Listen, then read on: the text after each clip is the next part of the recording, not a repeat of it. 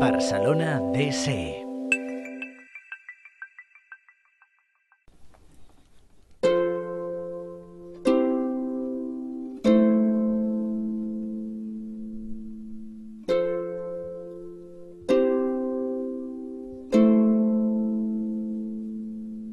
It's coming out in 16 languages now, which is something I never imagined. So it's all wonderful. I mean, it, feels uh, unbelievable. Actually, two years ago, I didn't even know that international festivals existed or that you could sell your book into other countries. I actually didn't even know it was possible. My father asked me to come spend a year back in Alaska with him, and I said no. And soon after that is when he killed himself. And so I felt really guilty. You know, I felt like if I had said yes to this trip, maybe my father would still be alive. So Sukkwan Island is the boy saying yes and, and spending the year with his father.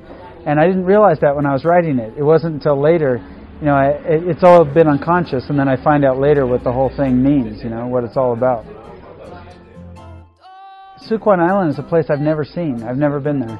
It's, uh, it's 50 miles away from Ketchikan, where I grew up, where I have my first childhood memories. So I know the forest, I know the water, I know what it would look like, but I've never been there. I wanted to move the story to a place I'd never seen so that the story could take its own shape and would be very uh, uh, paranoid and cohesive. Everything would connect and mean something uh, instead of just being the way it really is on some island that I've seen. So I moved it to a place I'd never seen.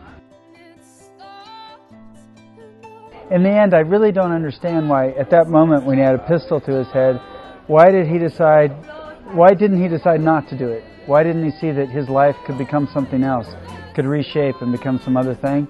So I don't really understand, and, and I wish that it had been enough that we loved him. I, I wish that had been enough for him to stay, and and um, and so I don't really understand it. I mean, I, I understand how he was suffering, and that he wasn't thinking clearly, and, and all the pressures, the, the patterns in his life that had come together. I understand all those that make suicide possible, but they don't make it inevitable. It, he still could have chosen not to.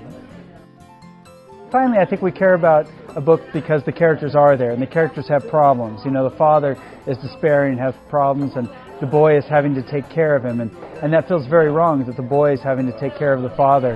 And I think as readers, that's, that's what we identify with. But for me, in writing it, I focused mostly on the landscape, and it was through the landscape that I found who the characters were.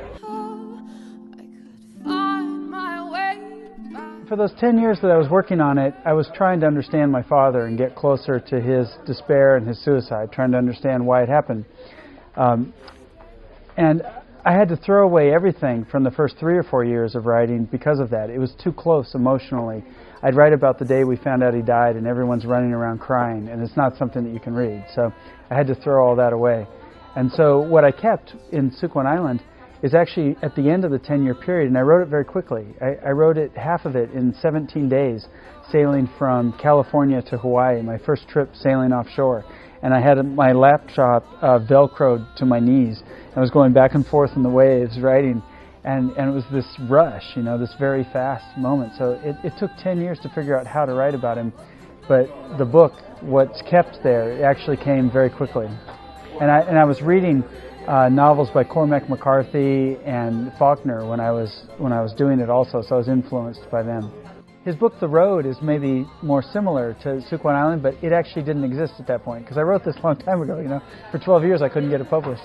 Um, uh, but yeah, what I love about Cormac McCarthy is that he extends his landscapes to figurative landscapes. So he, he'll write about mountains, a mountain range, but he says that their geology is not stone but fear. And it's that extension from the stone to the fear where the literal landscapes become figurative landscapes. And that to me is what's